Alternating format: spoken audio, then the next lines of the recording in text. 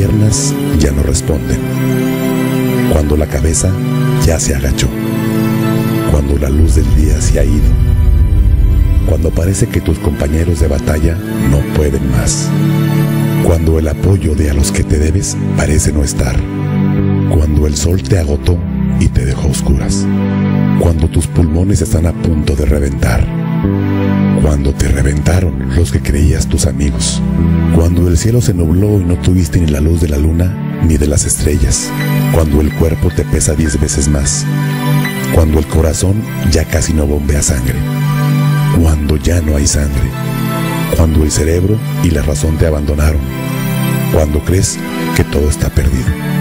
Ahí es cuando mueres.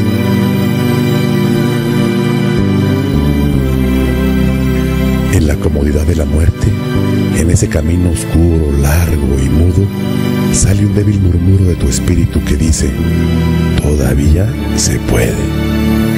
Esa voz es tan débil que la mayoría la ignora y muy pocos la quieren escuchar. Pero los que la escuchan, de ahí se agarran, la ropan, la alimentan, la hacen crecer y se convierte en un grito. Un grito del alma, un grito sonoro, un grito que dice, sí se puede. Tu cerebro ya no funciona, pero ves luz en la oscuridad. Regresa el oxígeno a tus pulmones y le llueve sangre a tus venas. Y tu cuerpo reacciona a tu grito.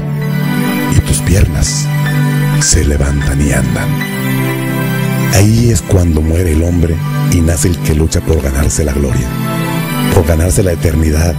Solo así nace un guerrero. Y un guerrero nunca muere.